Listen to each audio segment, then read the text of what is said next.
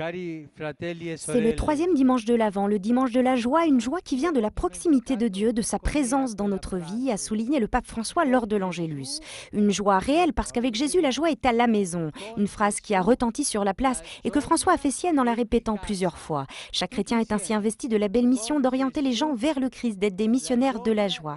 Pour cela, il faut recourir à la prière avec persévérance. Il faut chercher le bien et non le mal. C'est seulement avec ce style de vie que nous rencontrons le Christ Sauveur. En lui, a rappelé le pape, il est possible de trouver la paix intérieure et d'affronter les différentes situations de la vie, surtout les plus lourdes, les plus difficiles. À l'approche de Noël, l'Église invite à témoigner que Jésus n'est pas un personnage du passé, a souligné le pape, il est la parole de Dieu qui aujourd'hui continue d'illuminer le chemin de l'homme.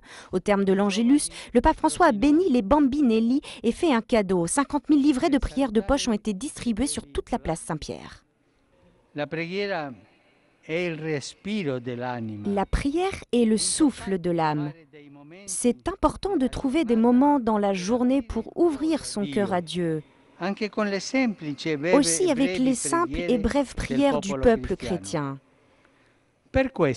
C'est pourquoi aujourd'hui j'ai pensé à vous faire un cadeau, à vous tous qui êtes sur la place. Una sorpresa, un regalo. Une surprise, un cadeau.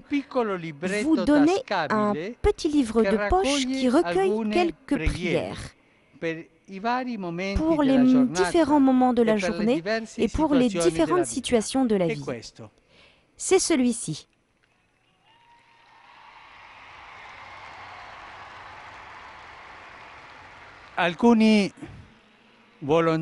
Quelques volontaires les distribueront. lo distribuiranno. Prenez-en un et e gardez-le toujours avec vous comme une aide pour vivre toute la journée giornata à Dieu.